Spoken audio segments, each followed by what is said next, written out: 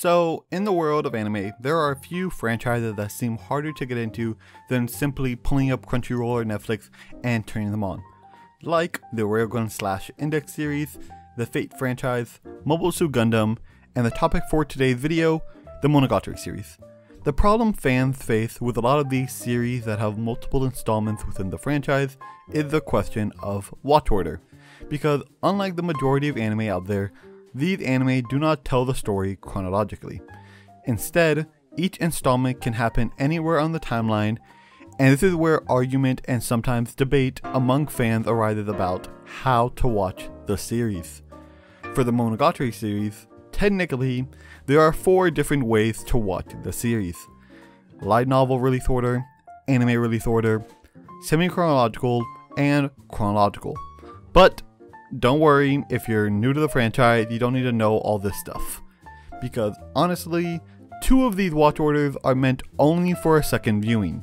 So all we need to cover in this video is anime release order and semi-chronological order. Anything simpler than this is, in my opinion, a disservice to the franchise, and if you're still interested in understanding light novel release order and or chronological order, I'll link some graphics in the description that do a good job of explaining them. Now, with that out of the way, let's jump into it. So first, I'll cover the order that is the easiest to watch, the anime release order, which is pretty self-explanatory from the title, you watch the installments in the order they were released as anime. So, first, Bakemonogatari released in 2009, 15 episodes. Then, Nise Monogatari, 2012, 11 episodes. Also 2012, Nekomonogatari Kuro, 4 episodes. Then, Monogatari series second season, 2013, 26 episodes.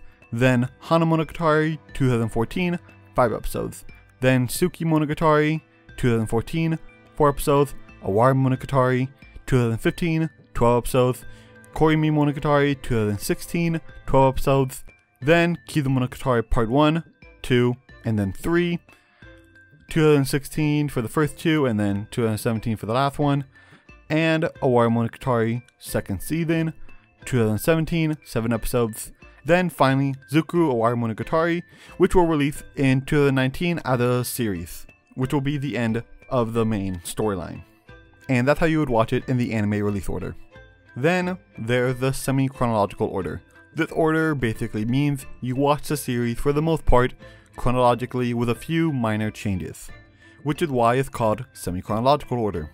Now, Personally, this is how I would recommend to watch the series for your first time, because this order makes the timeline the least confusing to understand in my opinion for newcomers. But the final decision is up to you. So let's get started and I'll just explain each of the changes at the end. Okay, so like release order, you start off with Bakemonogatari, then Nise Monogatari. And then here is where changes start happening because now you watch Kizu Monogatari Part 1, 2, and 3, and Nekomonogatari Kuro. Then, second season episodes 7 to 10, then, second season episodes 17 to 20. From there, we go to Owari Monogatari episodes 8 to 12, then, second season episodes 1 to 5. Then, go to Owari Monogatari and watch episodes 1 through 7.